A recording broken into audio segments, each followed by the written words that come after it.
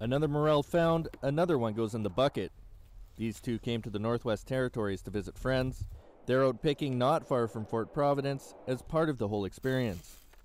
It's fun. It's like someone threw quarters on the floor almost. So morel mushrooms like these are what's making people the money. For some it's going well, for others not so much.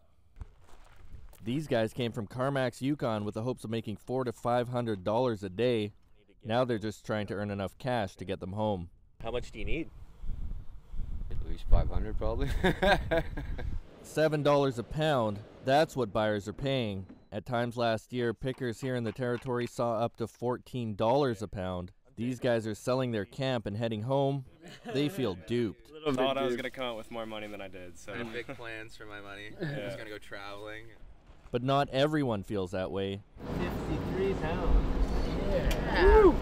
That's over $350. Not bad for a half a day of work. So why the low price?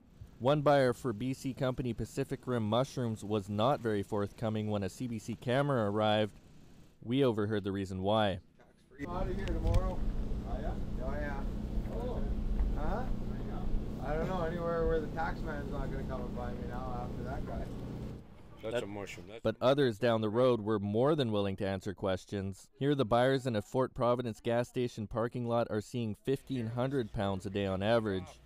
They say prices are low this year because BC mushrooms are flooding the market. the year before there was no fires in BC, so there was no all the mushroom come from Northwest Territories last year. Mm, That's why there was a big boom last year here in Northwest Territories.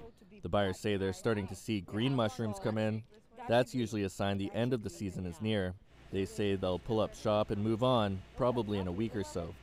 Jacob Barker, CBC News, Fort Providence.